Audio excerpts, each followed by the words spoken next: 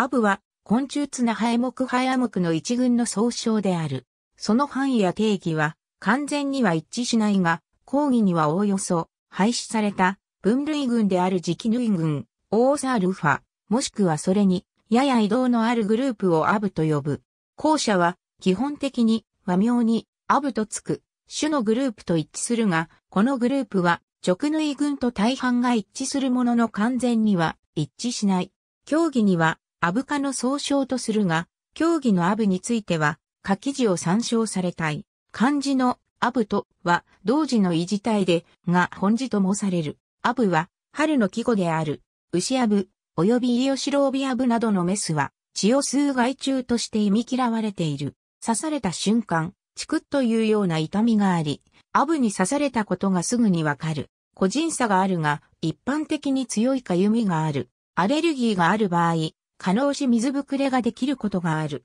虫引きアブか、ことに、塩やアブは、脊椎動物にも向かっていく反面、幼虫も成虫も他の虫を積極的に捕食することから液中としての面も持つ。資料によっては、アブを、自家縫い群オーサールファに等しく定義する。自家縫い群は解剖学的に定義すれば、触覚が比較的短い仲間のうち、羽化の際に、さなぎの背中が縦に割れるグループである。さなぎの縫い目がまっすぐであるとの意味で、自家縫い感覚群はあるいは、自家縫い群として、前方が円形に開く玉木縫い単角群と区別される。アブカのほか、虫引きアブカ、釣りアブカ、流れアブカ、水アブカなど多様なトガが含まれる。また、名前に、アブとつかずに、ハエとつく、踊り場エカや足長場エカなどもこのグループに入り、解剖学的定義からはこれらもアブの仲間である。ただしこの特徴は、共有原種形質、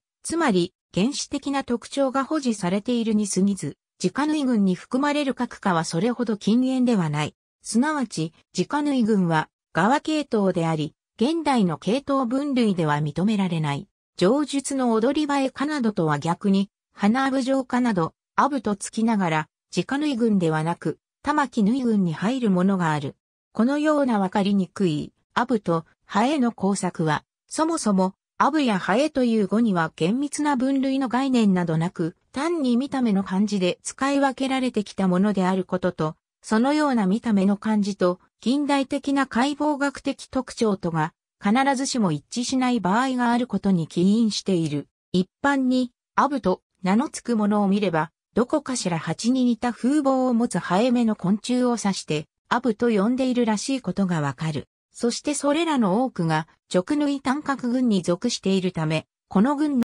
具体的には、釣りアブ科には丸々とした花鉢類に非常によく似たものがあり、逆にほっそりとして、姫鉢にそっくりなものもある。やはり講義のアブである虫引きアブ科にも、同様に花鉢や姫鉢の擬態と思われる例が見られる。ところが、これと同様の現象がハエである花アブ科にも見られ、その多くがミツバチなどの花鉢類に擬態すると同時に、一部の種群は姫鉢に似た細身となっている。ハエでありながら、花アブという名がついたのは、このような鉢に似た外見からである。花アブが、系統的には、ハエの仲間であることを示すため、例えば、島花アブ、大花アブを、島花アブバエや、大花アブバエとして、最後にやや強引に、ハエを付した図鑑も過去にあったが、結局はこれらの和名は定着しなかった。逆に、系統上では、講義のアブであるにもかかわらず、踊り場エカや足長場エカに、ハエと